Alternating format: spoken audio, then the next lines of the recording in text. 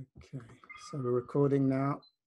All right, so lesson 109 of A Course in Miracles I rest in God. So we ask for rest today and quietness, unshaken by the world's appearances. I really like this um, unshaken by the world's appearances. So whatever is appearing for me is just something that the ego has given meaning to. And so seems to have a special significance. So if uh, the ego is interested in time, then time appears. If it's interested in donuts, then donuts seem to appear in consciousness or in thoughts. So whatever is appearing uh, is coming up because the ego has is has some form of interest or identification with it. Time, body, feelings, separation, this and that. So the next line, we ask for peace and stillness. In the midst of all the turmoil born of clashing dreams, we ask for safety and happiness. Although we seem to look on danger and on sorrow, and we have the thought that will answer uh, our asking with what we request. I rest in God. This thought will bring to you the rest and quiet, peace and stillness and the safety and the happiness you seek. I rest in God. This thought has power to wake the sleeping truth in you, whose vision sees beyond appearances to that same truth in everyone and everything there is. For me, um, what this uh, segment is saying, as one lets go of the identifying with the limited thoughts of the ego, of the identity, of the separate self and of all the things that it projects meaning onto that i that experience of being in separation to otherness starts to disappear and one starts to get experiences of oneness i.e there isn't a separate me uh, for example that's in this room but there is a universal oneness that is actually the essence of all of us but there is no that separation starts to dissolve in that so here is the end of suffering for all the world, and everyone who ever came and yet will come to linger for a while. Here is the thought in which the Son of God is born again to recognize himself. I rest in God. Completely undismayed, this thought will carry you through storms and strife, past misery and pain, past loss and death, and onward to the certainty of God. There is no suffering it cannot heal. There is no problem that it cannot solve, and no appearance but will turn to truth before the eyes of you who rest in God. This is the day of peace. You rest in God, and while the world is torn by winds of hate, your rest remains completely undisturbed.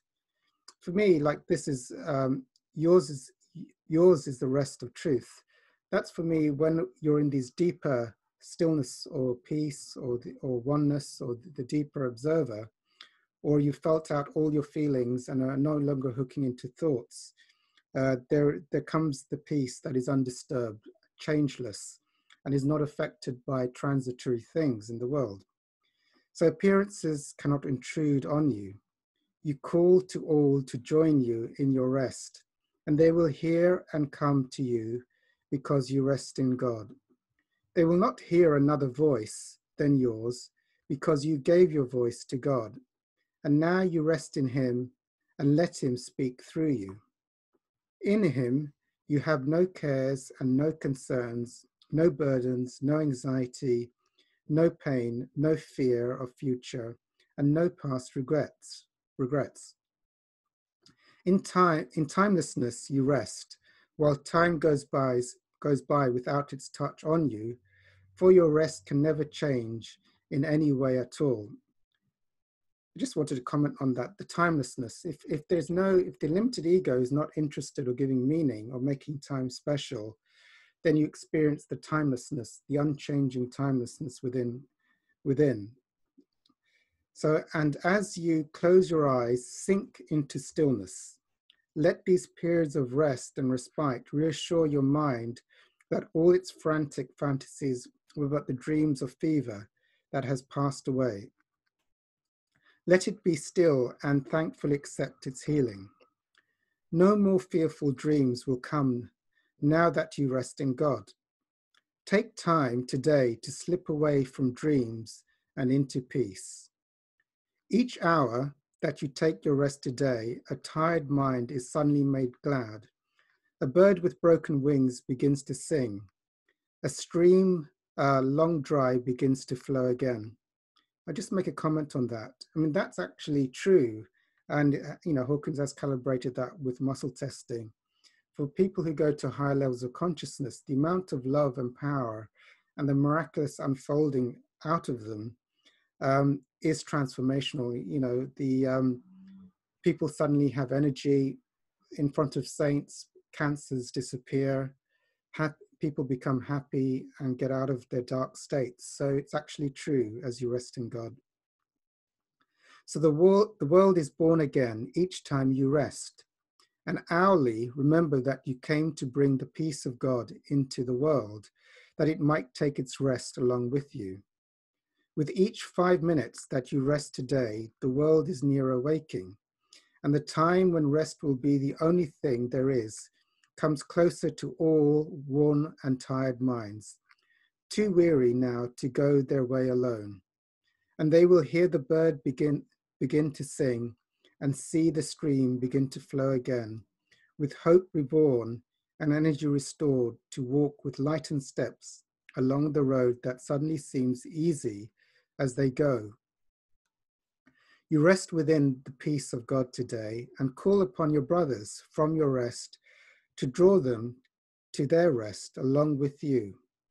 You will be faithful to your trust today, forgetting no one, bringing everyone into the boundless circle of your peace, the holy sanctuary where you rest.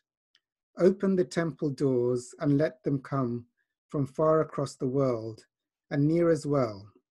Your distant brothers and your closest friends, bid them all enter here and rest with you. You rest within the peace of God today, quiet and unafraid. Each brother comes to take his rest and offer it to you. We rest together here, for thus our rest is made complete. And what we give today, we have received already. Time is not the guardian of what we give today. We give to those unborn and those passed by, to every thought of God and to the mind in which those thoughts were born and where they rest. And we, remind them of their resting place each time we tell ourselves, I rest in God. Okay, I'm stopping the recording now.